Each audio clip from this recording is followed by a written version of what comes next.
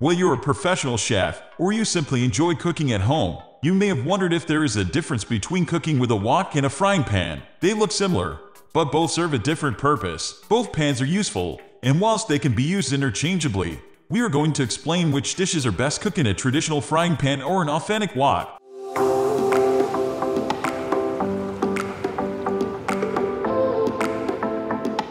What is the difference between a wok and a frying pan? Both the wok and frying pan are designed for use on top of the stove. A traditional frying pan has a flat bottom with slightly sloped walls. They are designed this way to allow for oil, sauces, and other liquids to sit evenly across the bottom of the pan. A wok has more of a round bottom, allowing the liquids to sit in one spot in the center. They have deep walls that also slow. The wok sloping deep walls trap in more heat, cooking food much quicker than if you were to use a frying pan.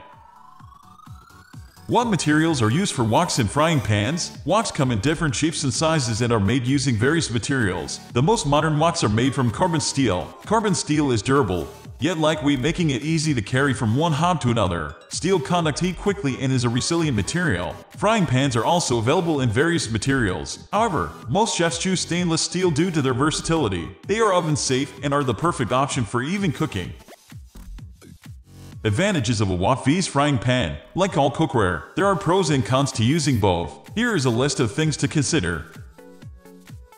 When cooking with a wok, every pan serves a different purpose, and some are more ideal for cooking different foods than others. If you find yourself in the following situation, you should reach for your wok. If you need to cook a meal quickly, due to the deep, sloped walls, the wok will heat up almost instantly and cooks food far quicker than other pans. If you are frying vegetables, the wok should be your go-to. You will have perfectly even cooked veggies in no time at all. If you are health conscious, even though you are using oils, the food will only come into direct contact with it intermittently. This is because you are constantly stirring the ingredients during cooking. If you are cooking with a lot of ingredients, as mentioned, the wok has deep walls with a round bottom. There is ample room to cook in large quantities.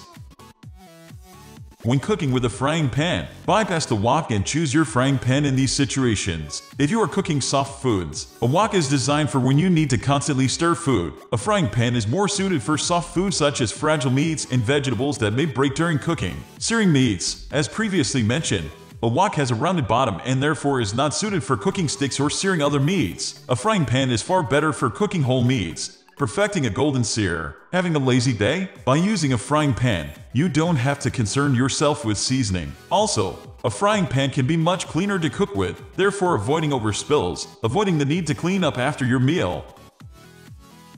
Overview Both a wok and a frying pan is useful for any kitchen. Neither are better than the other. They are simply required in different situations. At Hofson, we believe you need both. For more information on our range of cookwares, please don't hesitate to contact us, and we will answer any questions you may have.